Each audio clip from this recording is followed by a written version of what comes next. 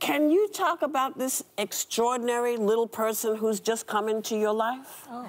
My, my little, my, my daughter, who's just pure joy, of course. Yes. Oh, oh. Look at this. Oh. oh, she's gorgeous. Is it more tiring now than it was before, raising No, a, I'm- a little I'm- one? I have people help me. out. Well, yes. Right, Yeah. So, uh, but What, um, you're not, you're not doing it yourself? not all of it. No. Not all all right. of it. Well, congratulations. Thank you. Yeah. She is Congratulations. cute as hell. She is Yeah. so cute. Yeah.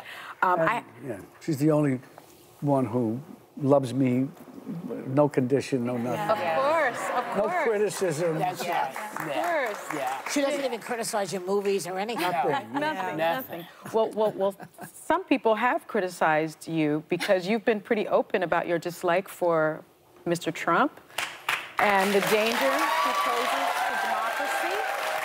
Um, you once famously said you'd like to punch him in the face. Um, um, but right now, he's leading in the polls in five battleground states. Any advice to the Biden campaign or the voters? What are, what are you thinking? Well, I think um, I, I don't understand why people are not taking him seriously. Uh, because you, you read about it historically in other countries that they didn't take the people seriously. I think Hitler, Mussolini, but they're fools and clowns. Well, there will be, and I hear it. There's some people. I mean, who who does not think that this guy is going to do exactly what he says he's going to do? Right. He's done it already. Right. And, and then what? We're going to sit around and say, what? We told you so? Or whoever, I told you so? It's going to happen. If he gets elected, it's going to change this country mm. to, with for everybody. Mm-hmm. And they might think that it's going to make their life better, or they just want to, excuse my French, I s- they just want to with the rest of the country. Literally. Those people who support him with, with anger and hate, because that's what he's about, mm-hmm.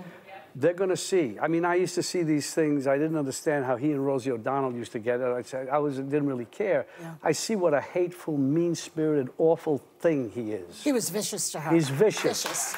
And why will, why will he not do that in this country? He's already done it. Yeah. Why would he not do? When I say I want to punch him in the face, it's because what he said to a person, a, a bystander or somebody in one of his rallies, he wants to punch him in the face. You don't talk that way to, to people. What, what kind of person does that? Makes fun of the, of the uh, physically challenged. He makes fun of people have, who have physical challenges. He's done that too. He He's done trashes everything. the military. He, he says that people who go to war are losers. Wake up. He's done everything. What more do you need? It's almost like he wants to sh- do the worst that he could possibly do to show this country to f- with us.